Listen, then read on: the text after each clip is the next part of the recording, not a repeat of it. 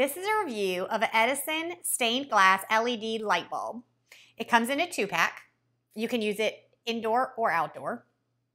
I purchased this item because I wanted to do something for my girls before school started to make their room super fun. So I purchased these. All you have to do is twist it in the holder or whichever holder you're using like this and then just flip it on and there it is.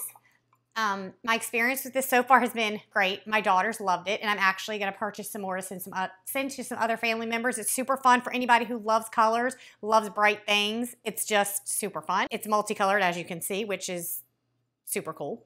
So I highly recommend you try this for someone cool in your life.